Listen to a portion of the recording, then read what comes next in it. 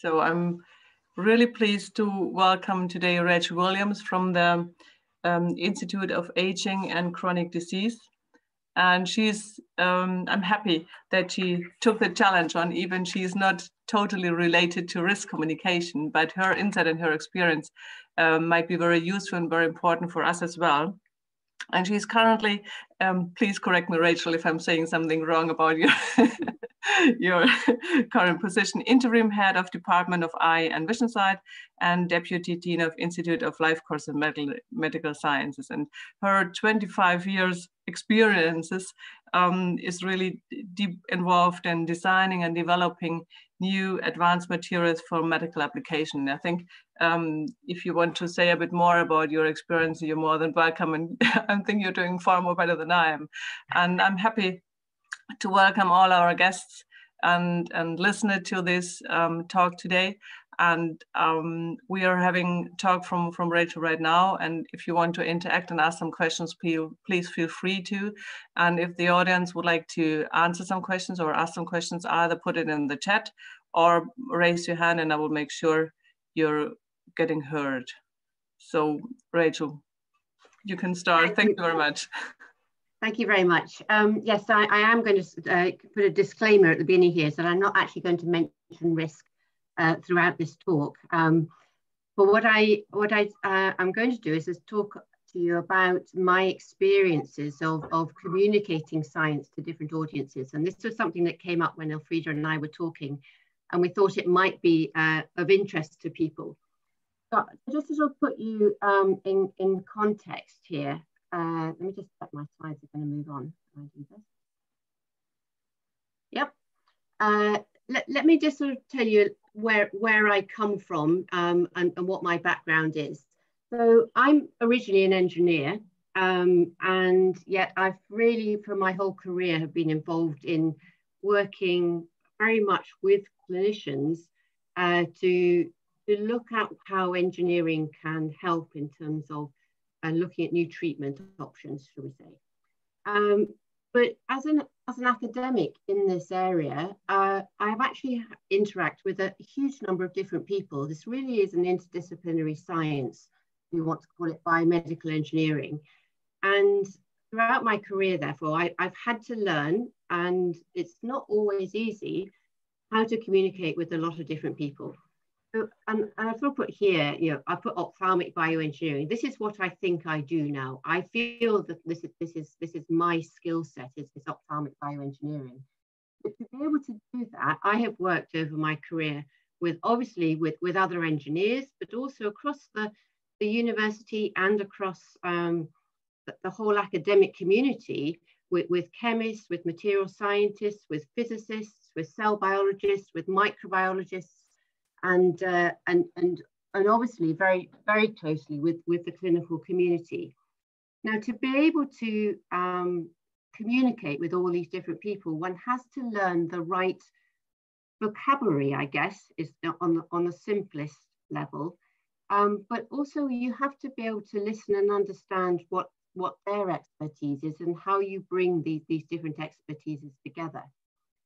And that's just looking at the science, if you like, or the science or the engineering. As academics, we also have to be able to, to uh, communicate clearly with research councils or, or other um, grant awarding bodies. And we need to be able to communicate with them in a different way. So how do we make our case that the work that we want to do is, is really important? I have to, um, or have been very much engaged in, in working with industrialists as well, because if I want to make sure that my research is actually going to have an impact, I need to find somebody who's going to manufacture and, and develop these, these materials and devices so that they can then be used in clinical practice. And how we communicate with industrialists is different than the way in which we uh, communicate with, with, with other people. So you have to learn what it is that's of interest to them. Particularly important for me, though, is I also need to be able to talk to, to the patients that are ultimately going to use these, these devices or and, and, and what is appropriate to them. I, I need to be able to talk to the public and I need to be able to explain what I'm doing so that the public can understand that that's, that's appropriate.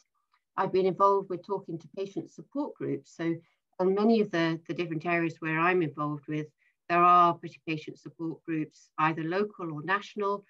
And going and talking to them, you need to be able to understand what's important to them so that you can answer their questions without getting their hopes up so much that you're really going to solve their problems. Because ultimately, a lot of things that we're doing in the laboratory are going to take a very long time to get to clinical practice.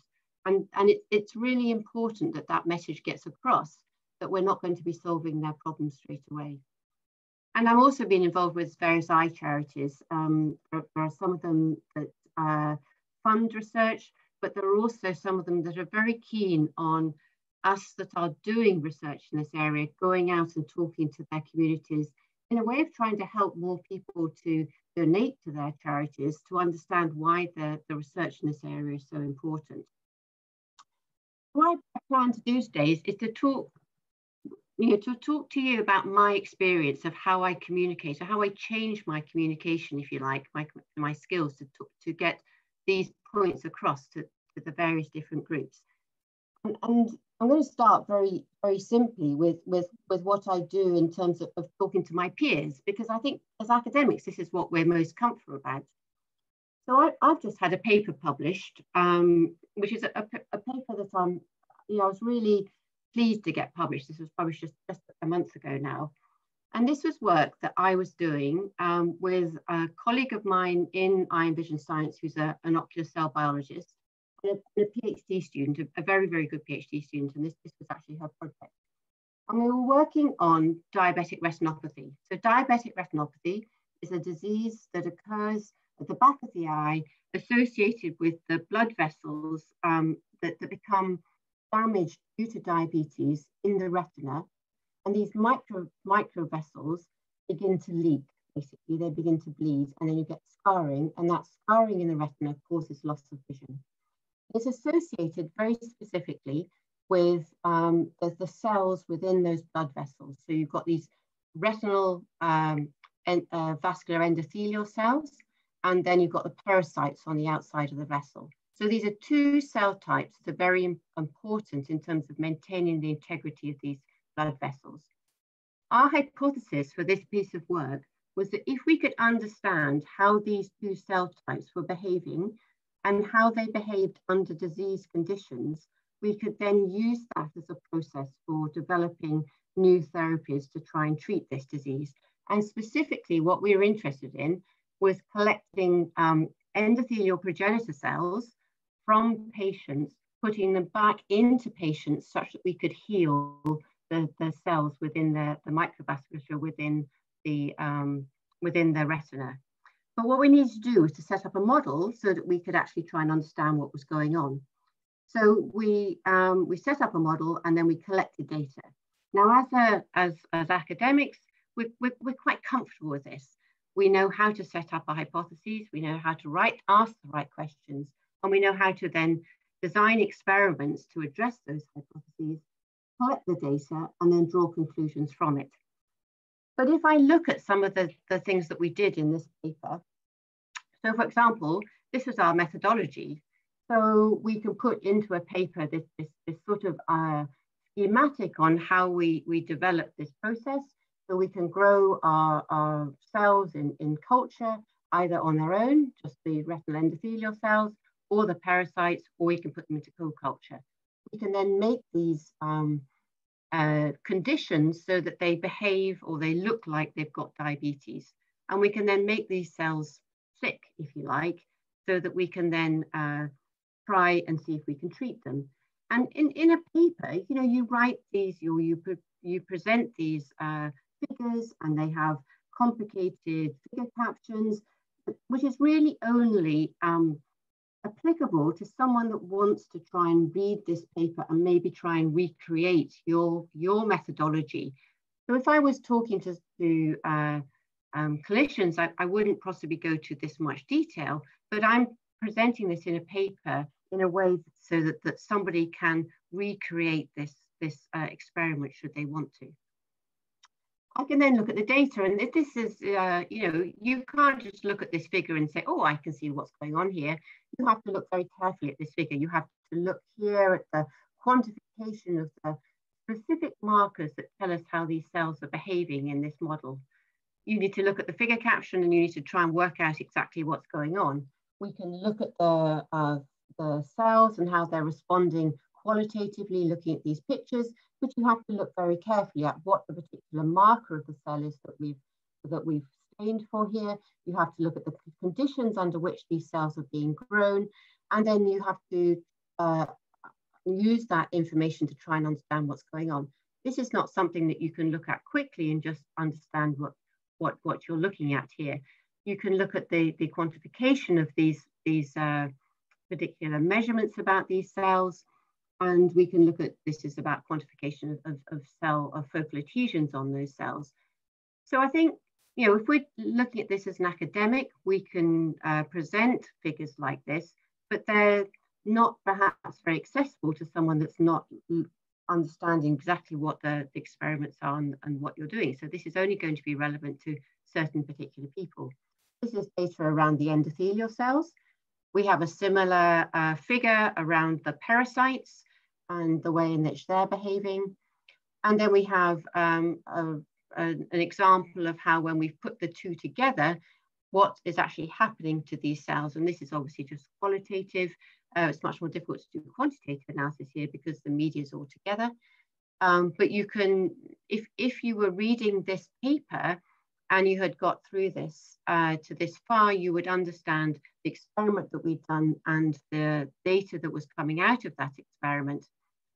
And overall, this paper had about, uh, I think it was eight figures plus about 11 supplementary figures. And clearly, if you were looking at this paper, you'd have to go through all that information to work out exactly what was going on. And we can end up drawing some conclusions from that work. So we can show that, that, that these data uh, confirmed that we could grow these cells in, in long-term cultures either both uh, individually or um, in co-cultures. And this was something that people hadn't been able to do before. So this was, we had demonstrated that by, by building this model, we could get some information from this, which was going to be useful if somebody else wanted to do this.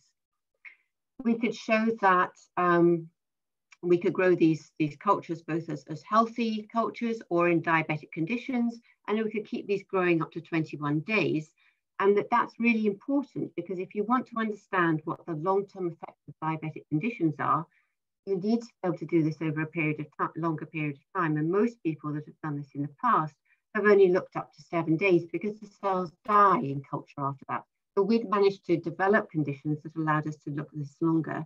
And that's really important in trying to then extrapolate from this to what might actually be happening in vivo we showed that we got significant differences between growing these cells in monocultures or in co-cultures. And this is also very important because people hadn't done this before and they had tried to draw conclusions on the effect of diabetic conditions on either the, the uh, pericytes or on the endothelial cells.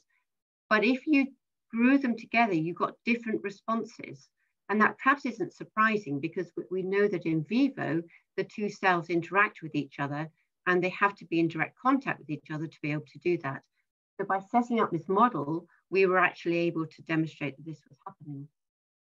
And then we think this allows us then to use this model to, to look at, at different potential treatments.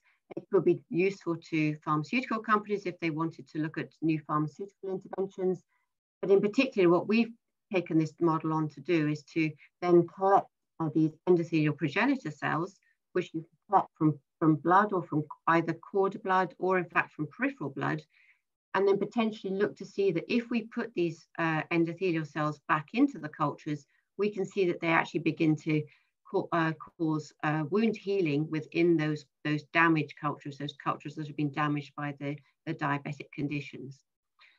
So from an academic point of view, this is something that I think many of us can do. We feel very comfortable presenting this. We can we feel comfortable about giving the data uh, because we know that we've collected the data in a very controlled way.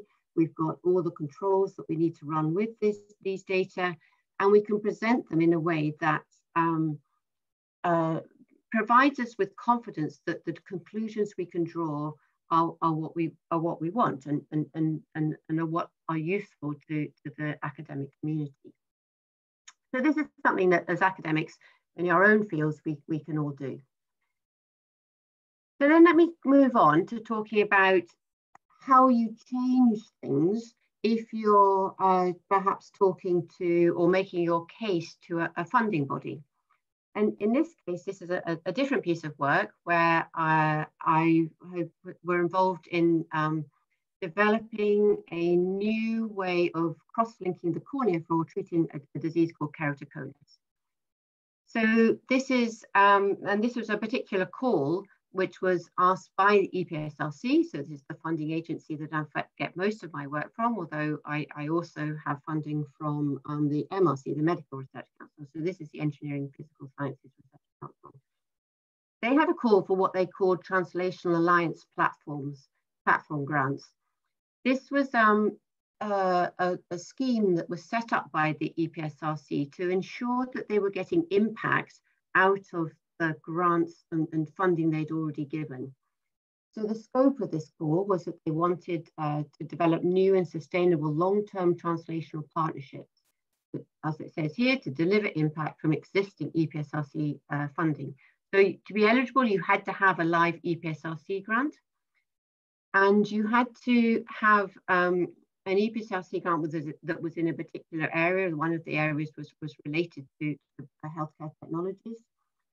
Um, and the interesting thing is you had to want to get impact out of this grant application that you hadn't mentioned in your original grant application. So in other words, they were looking for ways to develop impact from funding they'd already given that somebody hadn't perceived as something that would be able to come out of this funding that they had, that, that, they, this, work they had already funded.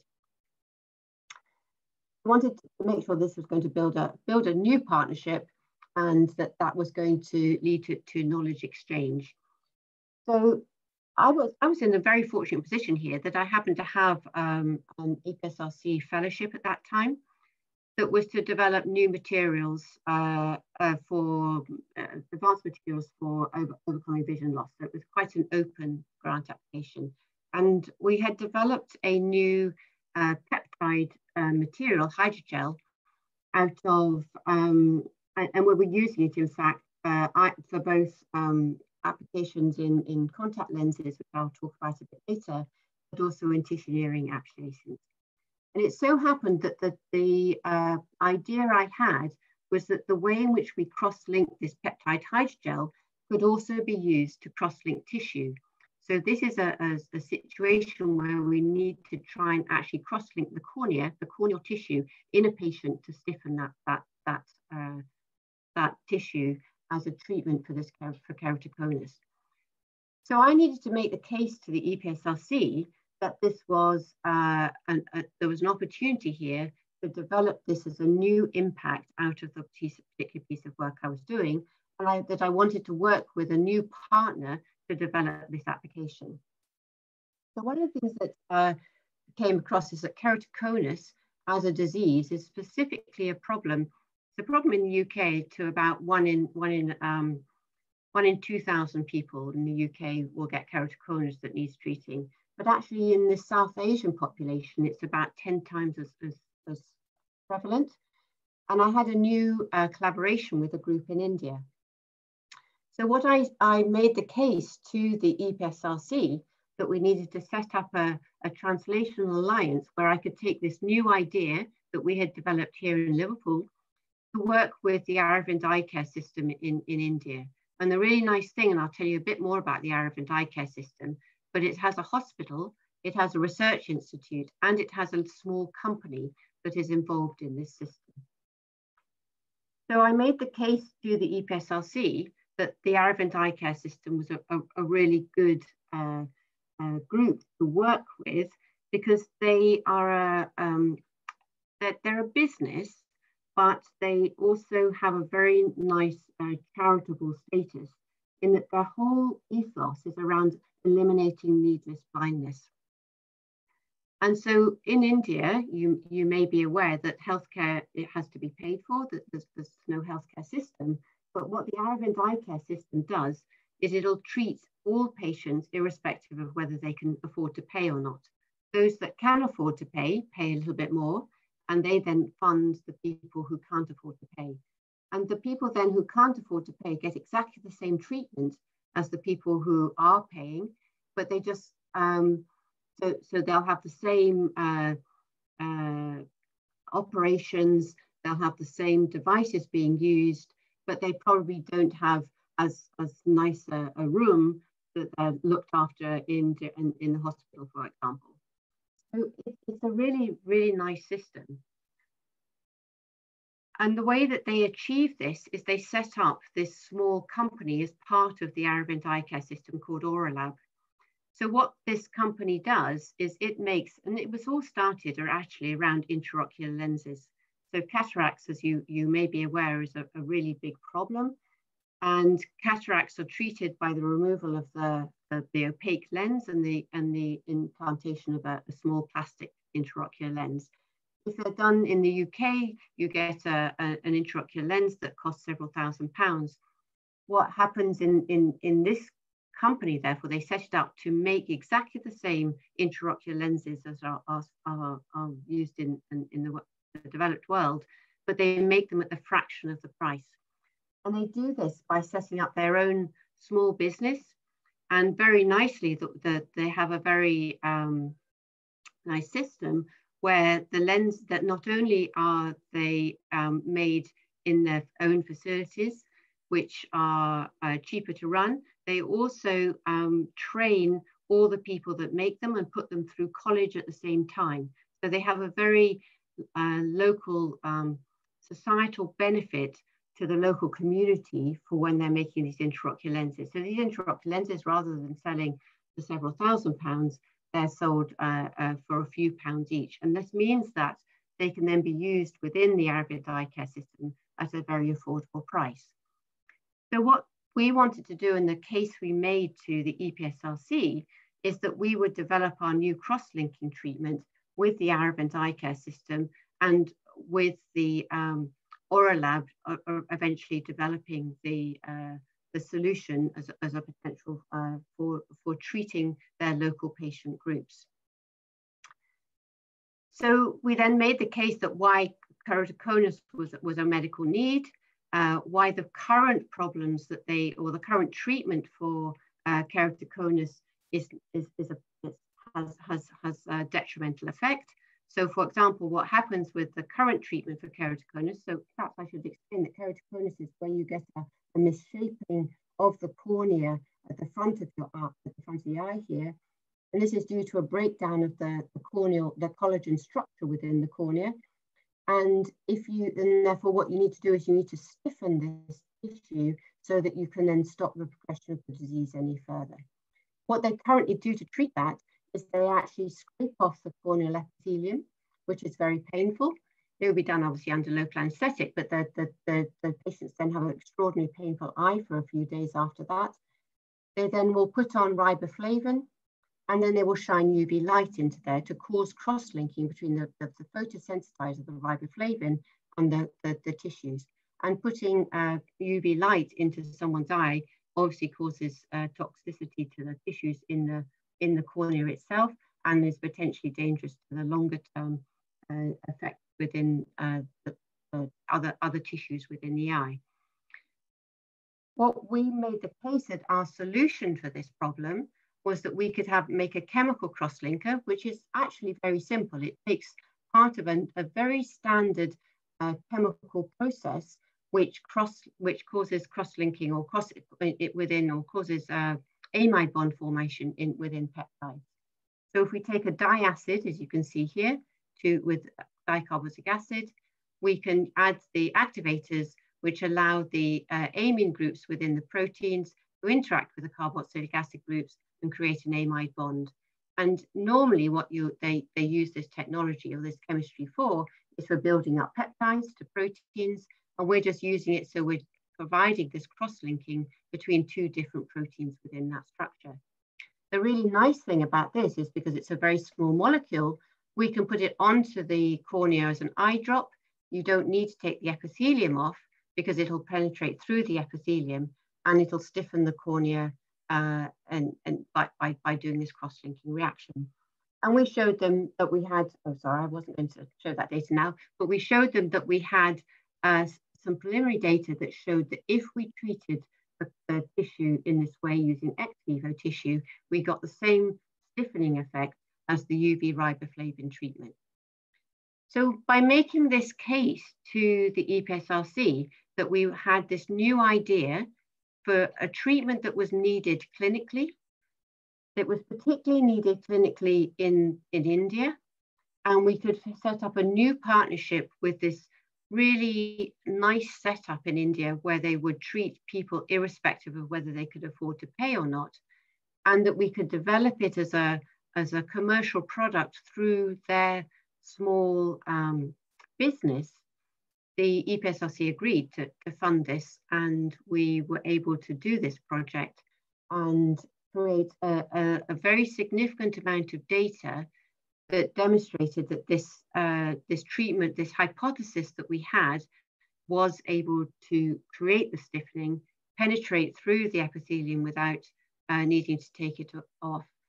We did this predominantly on ex vivo tissue in, the, in using pig eyes in the UK, but we were also studying this in, the, in India in the labs there where they used ex, uh, ex vivo human eyes, either eyes that had been donated uh, after people had died or uh, on keratoconic tissue when these, these patients were treated with a corneal transplant, which was the only alternative treatment option, which obviously isn't ideal um, uh, for, for, many reasons.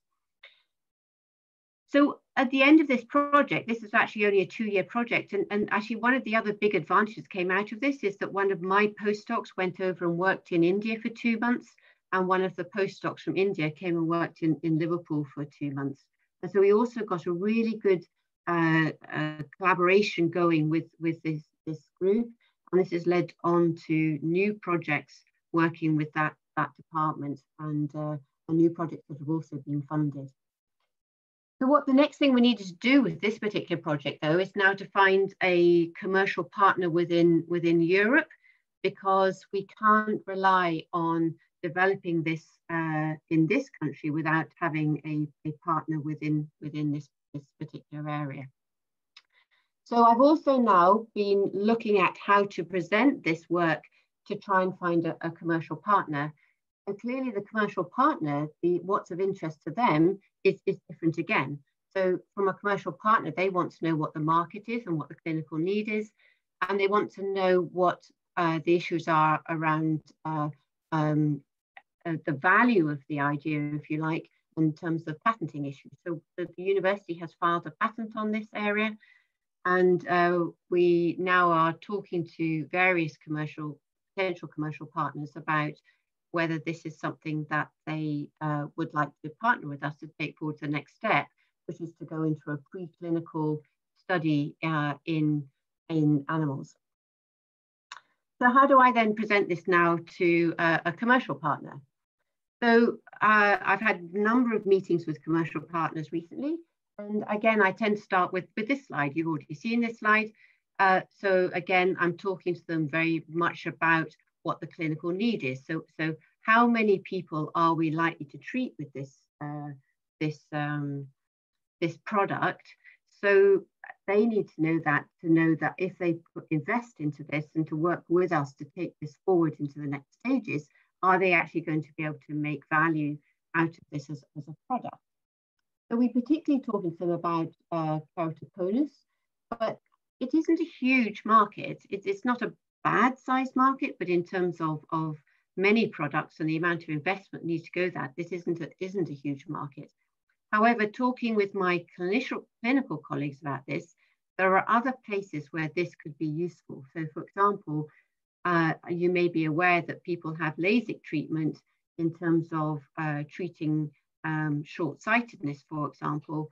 And when you do LASIK treatment, you interact and you cut away and, and, and change the shape of the cornea uh, to with using laser to uh, uh, permanently change the thickness of the cornea.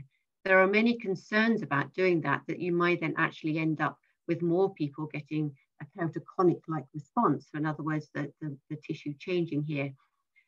people will not currently treat these patients with the current treatment because of the risks of the current treatment. If we had a much more gentle treatment, then they may well be able to be prepared to cross-link these, these patients. And this would be a much, much greater market uh, for a, a, a, commercial partner to take on. But as I say, we, we explain to them these issues. This is, this is the market. These are the problems with the current treatment. And again, this is, this is our solution. However, I then move on and give them uh, more, a little bit more information on, on some of the data that's coming out of that. So I can show to them that we've tested our, our, our, our treatment on ex vivo pig eyes here, and I can show that I'm getting a stiffening, and it's about 85% increase in stiffness, which is something that's clinically relevant. I can show that it's a, it's a, there's not much difference in terms of the treatment as in, in terms of treatment time. And this is important for them because in fact, the current treatment takes probably 30 minutes to an hour. And actually we could do this in treatment in 15 minutes. And I can show that the amount of stiffening I'm getting is, is the same, very similar to the amount of stiffening that you get with the current treatment. So that, that we're not uh, got a, a, you know, that the treatment is very similar in terms of the clinical outcomes, uh, in terms of stiffness as, as, to what's currently available. And, and I can just show that, that when we've done this on, on human eyes, we get the same responses as we do on, on, on pig eyes. Very importantly, I can show them that we've got data that demonstrates we've got incorporation of our cross-linker into the tissue. This shows that we've actually got a chemical change in the, in the, in the tissue which explains why we're getting this, the increase in stiffness.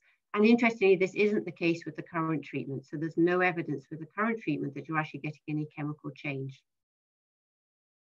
I can show them about uh, uh, in, uh, in, in uh, safety aspects of it. So this is, these are um, histological data that shows that when we treat with our uh, chemical treatment, the tissue looks un, damaged afterwards. It's exactly the same as if you just put phosphate sulfate saline on there. Whereas when you do the, do the current treatment on, on this ex vivo tissue, A, we've taken the epithelium off, so this lovely protective layer that you have on your, your cornea. We've had to scrape that off, and you can see that the, the cells, there are no cells in here, basically the cells have died, and they've been killed by the UV light. And this is an issue because this causes long-term haze and scarring within the, within the, the treatment this tends to res res resolve itself over time. But if we don't have to damage that, if these, these cells can stay alive, that's obviously a big advantage. And these are the endothelial cells. These are the cells on inside of the cornea that's here. These are very, very sensitive cells and absolutely critical that you don't damage them. If you damage your, your corneal endothelial cells, they're non-proliferative, they don't heal, and this is, causes a, a real problem. And this is the risk of the UV coming through here is that you damage the endothelium and we can show that where we don't get any damage to the endothelium uh, due to our chemical treatment. I can do, I've showed them data that uh, shows even more about safety. So we treat our, tis our tissue, we then collect tissue from the treated uh, eye, and this is all ex vivo, and then we can put these into culture and we can show the cells grow out from this tissue in a healthy manner. So this is really important. If you do this with treatment that's been UV, step UV treated, you get no cell outgrowth because the cells have been killed by the UV. This again will, is, is demonstration to the company that this is a product that is really going to be very safe uh, in, in, and therefore worth investing in. Uh, and then I have a small amount of study where we've actually put this onto live uh, rabbits. This is a very, very preliminary study. And uh, what demonstration here is that we don't get any toxicity uh, within the stroma. We do get a thinning of the epithelium, uh, but this is much of it has, has uh, recuperated after seven days. However, we know that this is a problem in terms of the pH of our solution. And so actually what we've done now is we've, we've coming up with a slight modification to our formulation so that we can uh, make this even safer for, um, for the next stage of our study. And so I can then explain to my these, these commercial potential commercial products uh, pro, uh, companies who I want to uh, consider them partnering with us is that this is where we are now. We've got a new formulation which can be, uh, we can keep at pH 7. We know that it's actually much more stable and therefore that's an advantage. We've got some preliminary data that we're currently collecting in, in, in rat, and, rat and rabbit studies, which is looking very hopeful. We've just put in an application to the MRC for a developmental funding scheme to do a, a longer term preclinical study. And doing this, we want to build a partnership with a, an industrial partner because we need somebody to partner with us to then take this on to a clinical trial afterwards. And uh, we've got, uh, we, we explained to them that we've got a patent that is covering the original formulation. Our new formulation, we haven't yet covered with a patent. So we are, can't actually tell them exactly what that is yet, but we are uh, going to develop this safety with them. And if we can get an NDA in, in place and they're willing to do that, then we can tell them more about our new, our new formulation. So the points I'm making to a commercial partner are different to the, uh, the, the, points I was making and have made in my application to the MRC for developmental funding, uh, a, a, DPFS, a development funding pathway scheme, that is a, a particular one for helping to translate this particular work. So then I want to move on to uh, to a, project I, I did um, very early on when I started working with St. Paul's Eye Unit. And this was a project where I, um, I had to work out a way to explain to the clinicians that the physics uh, of what was going on in terms of, of, of treating retinal detachments. Basically, the clinicians came to us and said, we use silicon oil in treating retinal detachments in patients, but we want to work out how to make it work better. So this ended up with a, a, a, a three-way collaboration between the University of Liverpool, which was myself and people from the Department of Physics, uh, a company called Fluoron that makes the silicon oil, and clinicians in St. Paul's Eye Unit. So let me just talk about, explain to you what, what retinal uh, detachments or tamponade agents are. So retinal detachment occurs in the back of the eye here. So the retina on the back here comes away from the underlying tissues. And if it doesn't get reattached to the underlying tissues, this part of the retina dies and you have lose vision in that part of the retina. And sometimes this retina can come right off and end up squashed down here in the bottom. So the clinician's basic principle is you either go in and you push from the outside and push these back into contact, or you go in here, put something in here and push the retina back onto the underlying tissues. And very often they can just do this with an air bubble. And if you put an air bubble into the eye here, you, this air bubble will float and it will push the retina back onto the underlying tissue. That's fine if the retinal detachment's at the top here. If the retinal detachment's at the bottom here, you then have to posture your patients and they have to lie with their head down, their face down to make sure the bubble then fits against the bottom of the, uh, the bit of the retina that needs to be pushed against it. But that's not ideal. And also the um, air bubble doesn't last forever, probably only lasts for a few days. So in fact, what they tend to do for longer term products or more complicated retinal attachments is they'll then use a silicon oil and they'll inject a silicon oil into here. And what they didn't understand was how the silicon oil was behaving within this tissue and how they could make it work better. And the particular considerations we needed to think about were the interfacial energies. So how does silicon oil interact? So silicon oil is a very hydrophobic material. How did it interact with the, the, the, the uh, hydrophilic inside the retina? Specific gravity, did it float or did it sink? And could we make it sink?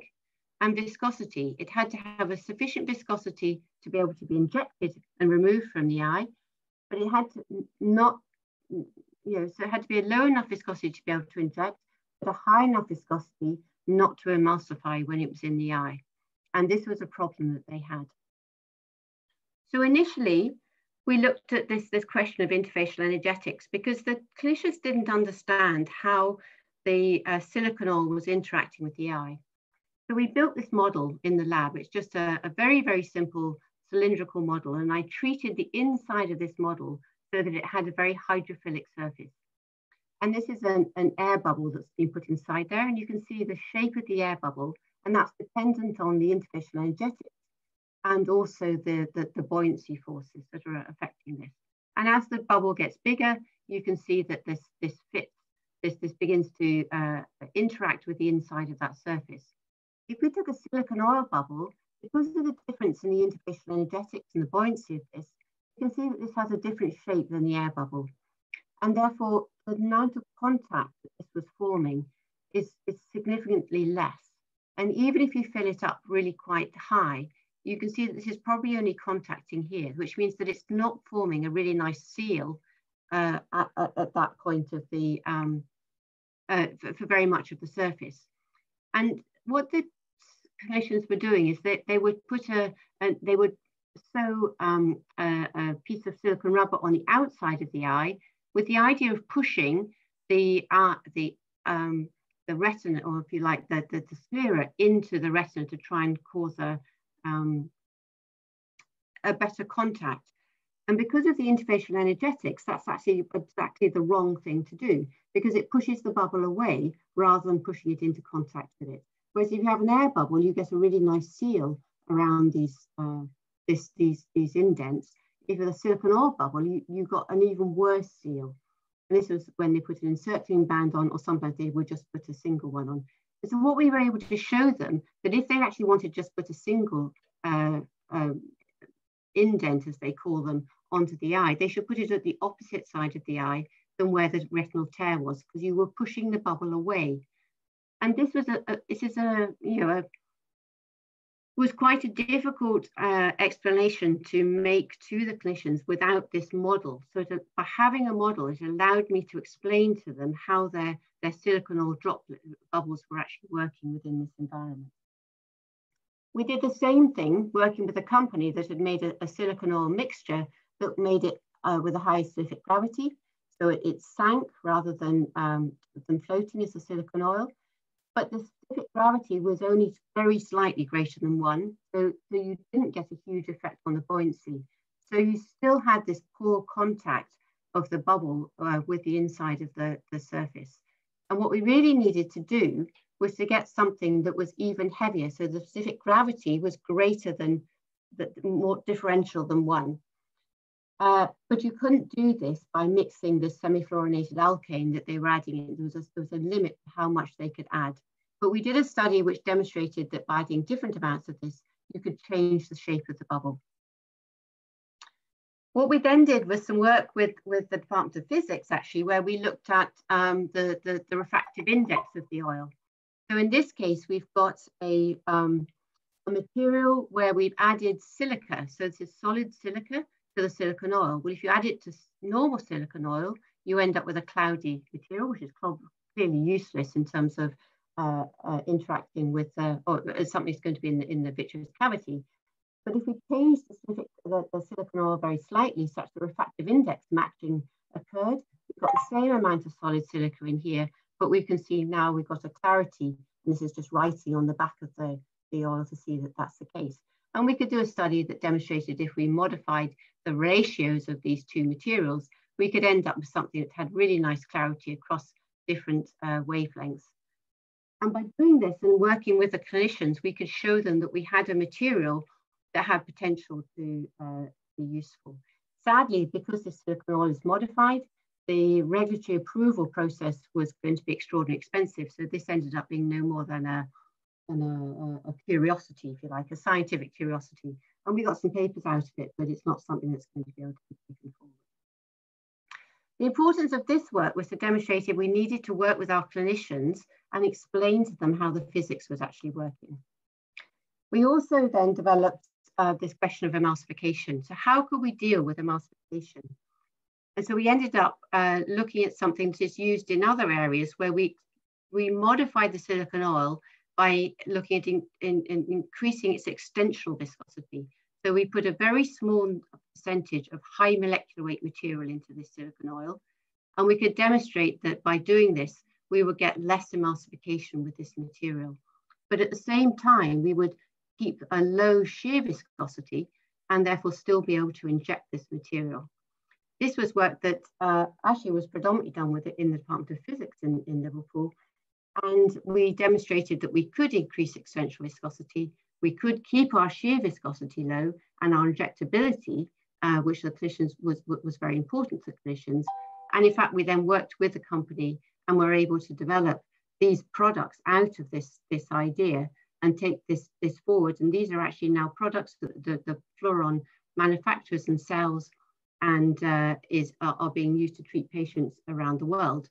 But this came out of work that uh, was a, a very uh, strong partnership between us and physics and St. Paul's Eye Unit and the company. And by getting everybody on board and being able to explain what was going on, we actually have ended up with a really nice output from this particular bit of work. Now I want to just move on now, talking a little bit more to the public and, and how um, I've, I've been involved in trying to explain work I do um, uh, to, to people who aren't really aware of the, the uh, or don't have the depth of knowledge around the science of, of what it is we're trying to do. And I, have done this in terms of being part of the SciBar uh, uh, system, which is where you go into a pub and uh, and you you uh, give a presentation in a pub to a group of people. Generally, what happens is you give a presentation for about 40 minutes. You then there's a bit of a break while everyone goes and fills up their glasses again, and then you carry on and give an, a bit more of a presentation. It's really fun. But the difficulty or the difficulty of me explaining this to you now is that when I tend to do this, I'll take a lot of props along with me and I'll hand them out so people can actually see what I'm talking about. Um, and I've done other similar things where I've been part of the Wirral Arts Festival and, and presenting there. So to do this, I need to start, if you like, further back in terms of, of making sure that people understand what it is I'm talking about. So I tend to start by talking about the anatomy of the eye and, and therefore so they can understand which parts of the eye we're talking about. And then and then also talking about how um, light actually gets into the eye and, and how we, how we actually see. And uh, and then and then I'll talk about how the fact that if you link think about this light path that's got to get through to all these different parts of the eye if you can get a, a, a blockage within that light path in, in any particular way any particular part of this that can be here it could be in the lens, or it could be in terms of how it actually interacts with the retina, or how that retina passes information down the optic nerve, then any of those instances can cause a problem with vision loss. And then uh, I, can, I can move on to say, well, there are various different ways in which we can try and address various of these different areas. So we can look at things that are related to, to uh, corneal uh, reconstruction or contact lenses, intraocular lenses, tamponade agents, or in fact some things that we got in terms of tissue engineering subretinal. And I tend to then go on, and, and, this work that I've done, particularly with the SciBar, is then gone on to talk about uh, contact lenses, because a lot of people know about contact lenses, and, and you know, it, it gives them something that they can uh, take on, on board in terms of understanding what's, what's important, in terms of then developing contact lenses. So there are some properties that are very obvious, but there are some things around uh, that are perhaps less obvious around wettability and gas permeability that, that I can then uh, go on and explain to them how we can try and do things about that in terms of developing new materials. We talk about wettability in the tear film and how most people think of tear film as just being a salty solution, but actually it's much more complicated than that and why that's important in terms of how your eye maintains its health and then I, I can talk to them about wettability. So um, here we can, little videos here on, on how I can explain to them about the wettability of materials uh, and how if you if you have a low wettable material, then the, the, the tear film won't spread on that surface and then that's uncomfortable.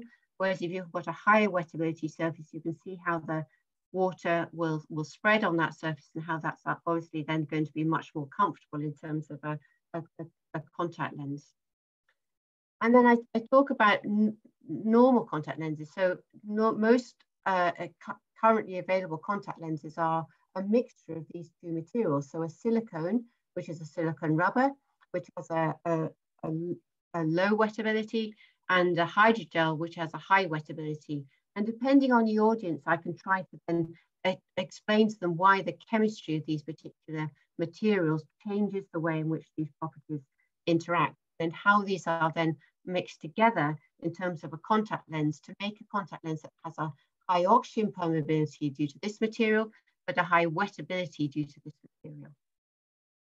And then using that as an experience, and I've usually got some of these materials to for them to feel so they can see what these materials actually feel like. I then move on to talking about some materials that we've done where we've um, research where we've developed these peptide hydrogels.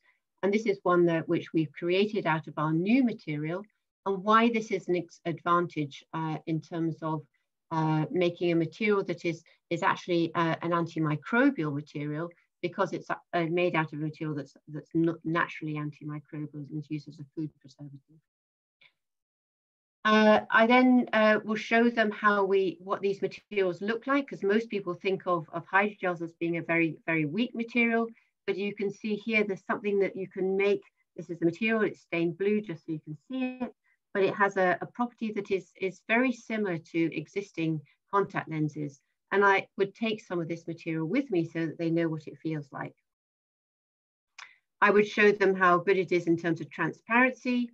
So you can see here that this material uh, has, a, has a really good transparency. And this is obviously very important in terms of a contact lens. Um, and then one of the other big advantages of this material is that we can functionalize it. So we could actually take this material and we can put drugs into it and I would talk to them about the problem that we all know about in terms of, of uh, getting uh, drugs into our eyes as we put eye drops in. We all know that about 95% of that runs down our cheek and therefore is, is, is ineffective way of, of giving drugs to the eye. If I can put my drugs into my contact lens and then put that contact lens onto the eye, then I can get much better release of those drugs onto the, onto the eye and to keep those in contact with the cornea that we can treat infections.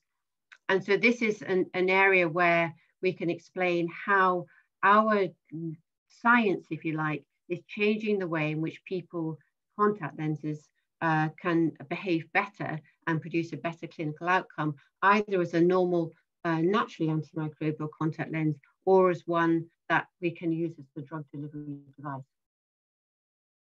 I know I'm running out of time here, but I just wanted to uh, give one last example where I, I, I talked to people, uh, patient user groups, and I think this is very important because this is, tends to be people who have vision loss, and it's very important to them to understand what research we're doing that uh, can be used to explain how we how we can improve their situation. And actually, I generally make it clear that we're not actually probably doing changes that are going to affect them, but will affect the next generation of people who are coming along behind them. And they're usually very keen to help uh, treat, look for new treatments that even though they're not actually going to uh, possibly um, benefit it from them themselves. So macular, age-related macular degeneration is a particular area here, and I will explain to them what this process is that's uh, that uh, is occurring uh, and why they have a problem uh, here at the back of their retina, uh, and, and how this then is, is beginning to, to lose, they, they're beginning to lose their vision associated with this damage that's occurring in this area. And then I talk about the new treatments we're trying to do, which is around a tissue engineering application where we would develop a substrate, we would grow cells on that substrate and put it back into uh, a patient uh, removing the damaged tissue within those particular, in that particular area. But particularly I would then try and explain to them how this would work. So we would talk about a, having a substrate, having cells, growing them in both in culture, and then taking that and making sure that these cells then grow onto that substrate to create this really nice monolayer of cells on the substrate. And then taking that substrate and looking at how we could put that back into a, a patient uh, through a surgical procedure and then put the, the, you can see here, the retina has been lifted, the uh, implant put underneath, and then the, the retina laid back down on top of that surface. And, and how that then has the potential to uh, treat the damage that's occurred in, in these people's eyes. And this is our, our subject that we're doing that. And then also I would talk to them about how, where we would get those cells from. So uh, there's a lot in the press about using um, stem cells for these applications.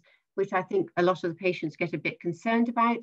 And therefore, our, one of the things that I try to explain that in, in our way of doing it is to take cells from the patient themselves, from the iris, and then we can take those out in a very simple procedure. We can expand those in culture in the laboratory and then potentially put the patient's own cells back in under the retina. And, uh, and, and basically explaining this to them helps them to understand how this process could be uh, um, a treatment in the future. It's not, and I explained to them very, very carefully that this is something that's going to take a long time to develop and that we're very much in the laboratory stages at the moment. Because I think one of the things that uh, can be very confusing to patients if they think that these solutions are something that's going to help them and is going to help them very rapidly. And I think that gives people uh, an unrealistic uh, understanding of, of where research actually really is. And I just wanted to uh, bring up one example I had to do here, which uh, as an academic is very, very difficult for us. We as academics tend to rely on slides, but I had to give a presentation to the Macular Society annual general meeting uh, one year. They asked me to go and present. And this was to a group of people down in London. It was about three to 400 people who were present at this annual general meeting. They were mostly uh, elderly people with age-related macular degeneration. And they, they told me that, that because a lot of them had very poor vision, they would rather I didn't use slides because that meant that those that couldn't see felt left out of the presentation. So I then had to explain what I've just gone through to you with you without using any slides. And I think this is something as academics, we're actually very bad at doing. And I had to try and explain this whole process just using words. And uh, I think this is something that we as academics should probably do a more practice with because it's actually very, very difficult to do. And I had to try and use examples. Uh, for example, like that one of the materials we're currently using for this is actually expanded PTFE. And if you don't know that, that's called, also known as Gore-Tex. And I had to explain to them, well, actually, you all know what Gore-Tex is because you have experience of it from other applications. And that was then how the uh, a material that they actually knew about. Um, but it's actually very, very difficult to do this. And I think it's something that uh, we and, and certainly our, our, um, our students should, gain experience of, of how to give a presentation to people without using slides because we all, all rely on this uh, probably too much. Um, so I think that that was uh, uh, all I really wanted to say. Um, I'm I'm not sure I've I've answered any any uh, points, but if there are any questions that, that anyone would like to ask me about how I go about trying to do this, I'm I'm very willing to to try and answer them. Yeah, thank you, Rachel, for your fantastic presentation. And I think we got a deep insight of the um, variety you are presenting your information to convince funding bodies, to convince companies, and explaining your your paper um, and simplified for for the pub talks.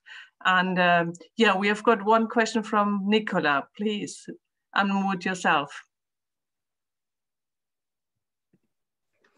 Uh, hi, thank you very very much for the presentation. It was very interesting, and also just seeing the the whole range of uh, people you have to talk to. Uh, I would be just interested in what is your process when you begin. So, at the beginning, how do you decide what information you will present for for those different uh, people? I guess I just would like to understand sort of the thinking process. Yeah, so so I mean, that's that's actually a really really important question. So you need to know your audience.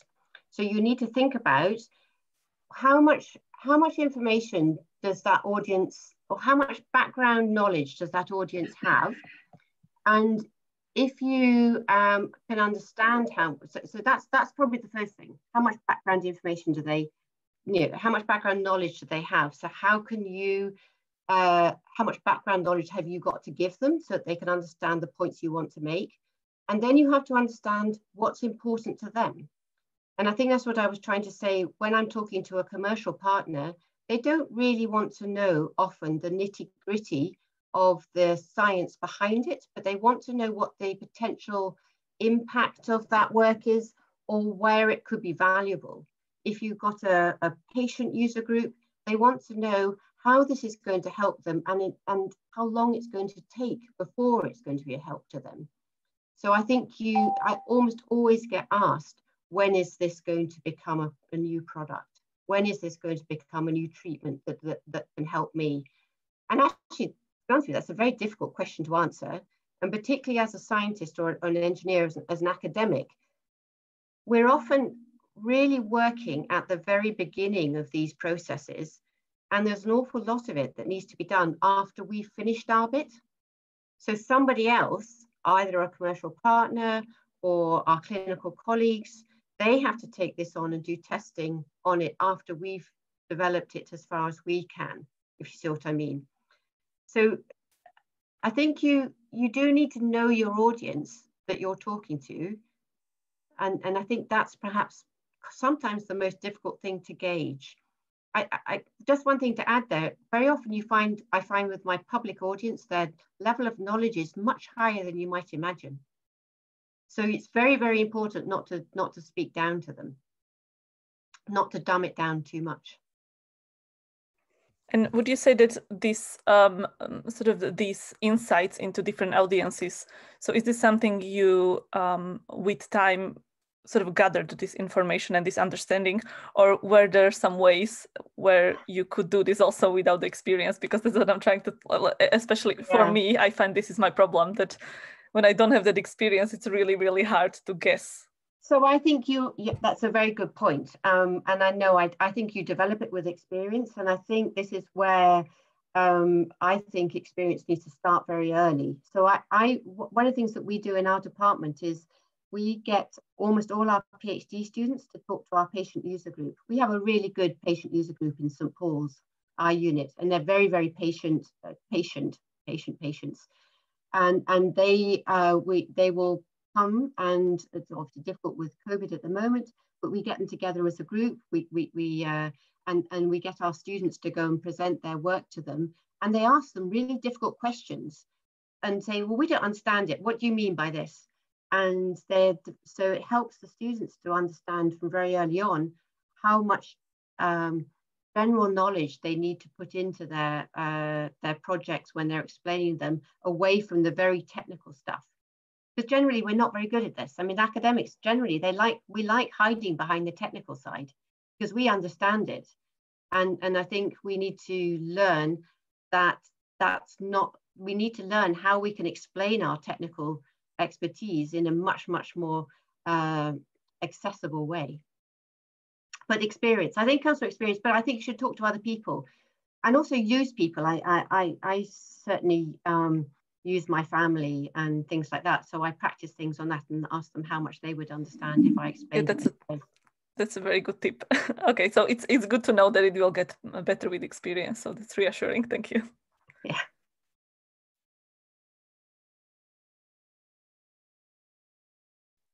Any other questions?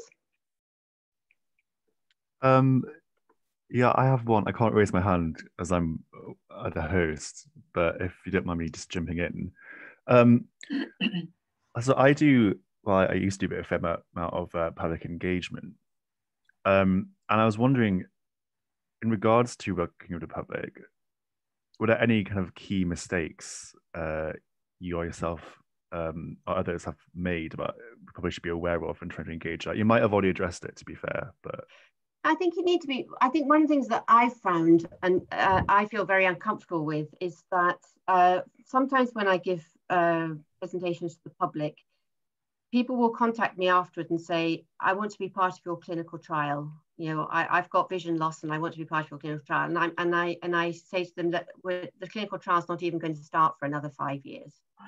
Mm. And, and I think it's that issue that, that it's very important that we give a really realistic um, presentation to the public on how long these things take to get into into the the to real uh, impact. And I think there's a temptation that we think we're going to solve a problem, and yet we have to realize that people who with with vision loss, it's, it's hugely important. It's one of the things that, that really, really worries people losing their vision. And I think if we give them too much of an optimistic idea that we've got a solution, that's that's not fair. I think that's really important that we get that right. And I think it's really difficult to do. And I think in the past there's a there's a there's been a temp I, I myself have had a temptation to to say, no, we've got something really exciting here without giving the make it really clear that this is actually very long term, that, that really the stuff we're doing here is on the bench and it's a long time from clinical practice. So when you so when you're like um, I suppose communicating like information and knowledge, um, I always find it much more engaging to try and tell it like a story or something. But I guess from what I'm from what, what I'm getting from what you're saying is it perhaps it's better just to kind of um, try and leave out any additional things that could potentially lead to misinterpretation. Um, yeah, I think, I, I think so. You need to, you do need to be very careful that it's not misinterpreted, and I think language is very, very important in that respect. And I think perhaps as scientists, sometimes we're not particularly good at explaining things in a language yeah. that's understandable to others. Um, and yeah, I think I, I, don't know, but I, I get very excited sometimes about the data we have because I'm just find it exciting and, and, and really interesting. And sometimes you can get that you can get the wrong impression over by being too too exciting. Mm. Yeah, I, so I think it's just trying to figure out what is like I suppose position or how to position yourself as a communicator. Whether it's just like do you want to just present pure data, but then I find just doing that, people will interpret that through their own lenses and biases and come away with not necessarily what you said. Uh, but then sometimes you lead the message, then it informs the other way, and people go away with something that's probably a bit beyond what you meant to say. So I think trying to get that balance is a bit difficult, but yeah. And I think the way you communicate it is different depending on whether you're writing a scientific publication or you're talking to the to, to the public. And I think that's the important thing that I don't think we're necessarily very good at. Yeah, yeah. Yeah, I think sometimes uh, we like the data to speak for itself, but necessarily it doesn't. But it's trying yeah. to, yeah. I mean, you could imagine if you didn't, if you weren't excited about uh, your science in a grant application, you'd never get it funded. Yeah, yeah, yeah. That's definitely true. Right. Yeah. Thanks. That's food for for thought.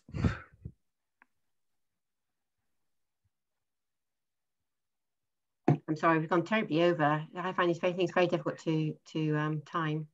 Uh, all right. Does anyone have any other questions, please?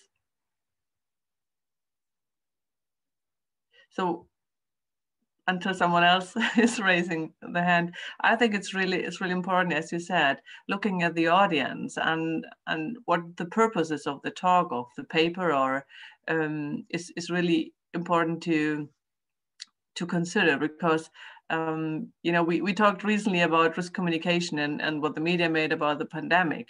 And I think uh, when I investigated or, or interviewed the participants, they were really frustrated about the, the role of the media. And, and this is probably the next part when you present some news and some, some research articles, you need to make sure um, that it's written that pro probably some of the journalists could, could understand the basic to, to communicate it as well, isn't it? Well, so I, am sure all of you've um, you know seen some of the um, uh, Downing Street briefings, and, and the slides they use in those Downing Street briefings are, are, are frankly appalling. And some of them don't have y-axis labels, and some of them have x-axis labels you could never read. And they, you know, I think as a, I would say as an example of how not to present data to to the public, that's a that's a very good example of how not to do it.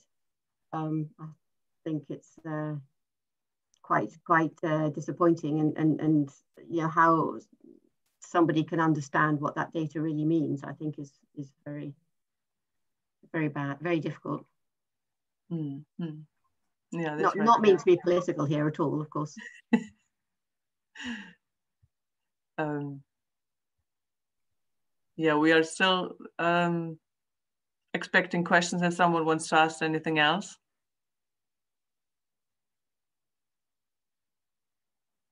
The group is normally really, really busy and interested. I, I, think I've gone on too long, probably. oh, sorry, do you mind if I just quickly ask a question? Yes, please.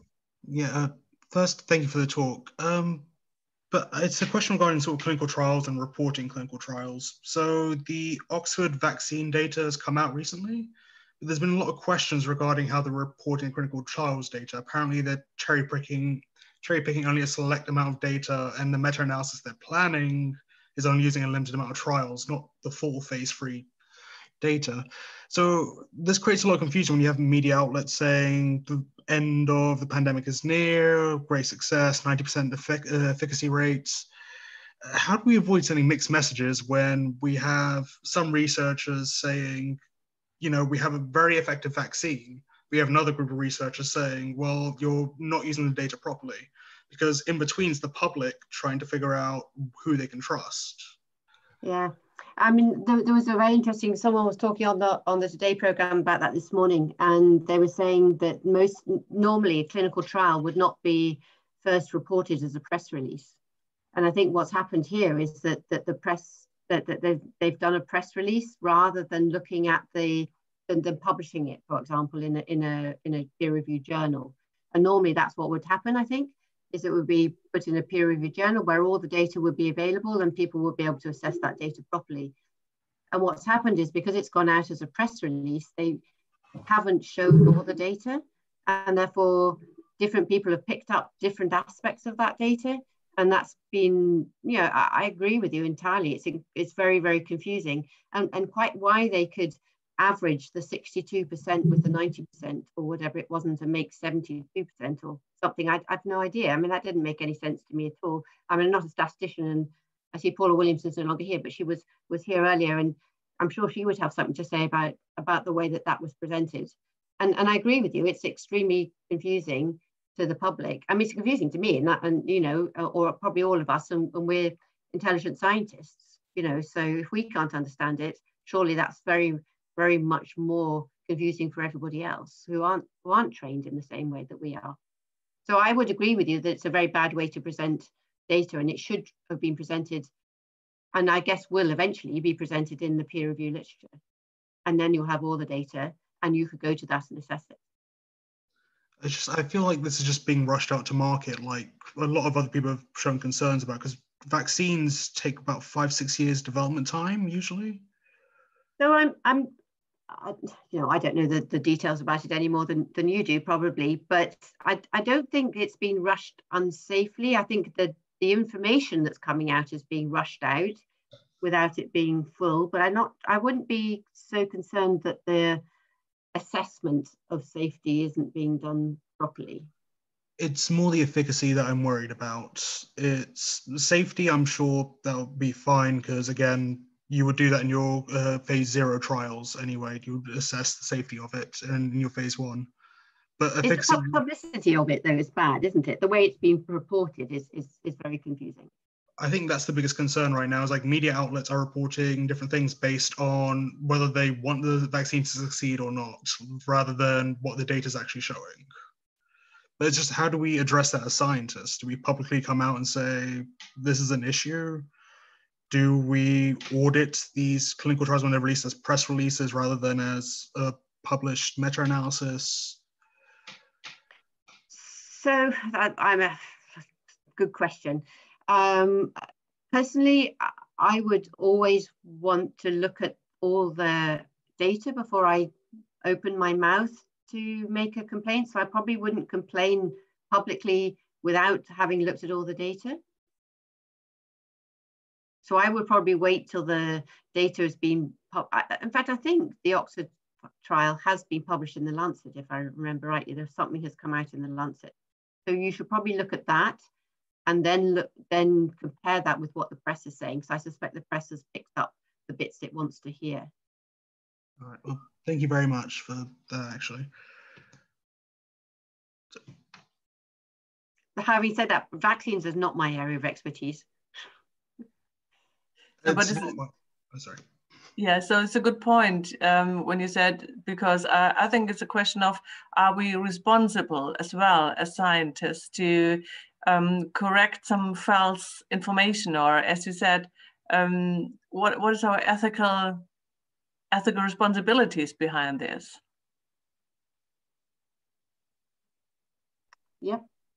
Mm. Um, I mean, some people have have gone on on and tried to to pick pick some some of the other aspects up. I, I think um, it comes back to to having the knowledge to assess the data that's there. I think you know I I wouldn't want to um, complain about somebody's work without reading all the data and, and really making sure that, that that's what the data is actually saying because they, they may be misquoted. It, it may not be the Oxford vaccine group's fault. They, they may be being misquoted by somebody else and they may actually have put out all the real data. Mm-hmm. Yeah, that's happened a lot already. Yeah. Yeah. Yeah. Any more questions for Rachel to challenge her or thank her? and I, just going back to that point about about uh, you know what I do think we do ourselves need to be confident about the data that we put out. I think it's very important that, that if you do put data out in the public domain, that you are that that data is absolutely squeaky clean, if you know what I mean. You know, and, and, and you know exactly where it's come from and how it's been generated, and are are completely confident that what you're presenting is is is right. And I think as academics, we generally do that, and that's the way we feel. That, that the worry is when somebody misquotes your data so you need to make sure that you've put it out there in a way that that is totally unambiguous. Hmm. Yeah, and this might be the the hardest point because even even if you put the right data on and they're are clear like water, um, it can be still misunderstood.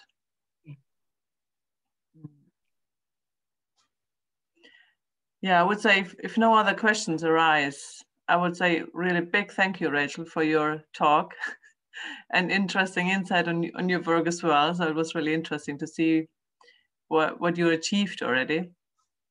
And uh, thanking the audience as well for joining. Oh, Pedro has another question. Sorry, yeah, go on, Pedro. Uh, clap reaction, sorry, just thank you. All right. no, thank you very much. And um, I'm looking forward to work with you in a couple of weeks again with with Asan as well and and the aging CDT. Yes, yes I'm hoping to get some of these uh, uh, sessions set up quite soon. Yeah, thank you very much.